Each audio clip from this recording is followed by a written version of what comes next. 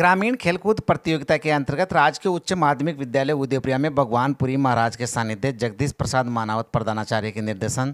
एवं सरपंच मुकेश मीणा की देखरेख में kho kho kabaddi, shooting ball, cricket, रस्साखसी, football खेलकूद प्रतियोगिताओं का आयोजन करवाया गया, जिसमें क्रिकेट में बी ग्रुप विजेता रहा। खो खो में राजकीय उच्च माध्यमिक विद्यालय उदयप्रिया विजेता रही, कबड्डी में डी टीम विजय रही रस्साकसी में ग्रामीण महिलाएँ विजय रही। सह संयोजक महेंद्र कुमार बुनकर, व्याख्याता चौथमल कुमावत व्याख्याता मुकेश महिला, कैलाश चंद्र गुजर रितु असनानी, खेलकूद प्रभारी कमला यादव, भीम सिंह, राजबाला कंवर, अर्पणा मीणा, स्नेह सियाग प्रियंका मीणा, सुमित्रा मीणा, बीना शर्मा, पवन पूनिया, सुरेश कुमार सैनी, निर्मला मौर्य, विजय कुमार शर्मा, मूलचंद लेखरा, मुकेश यादव खेलकूद प्रतियोगिताओं को सफल बनाने में अपना योगदान दिया।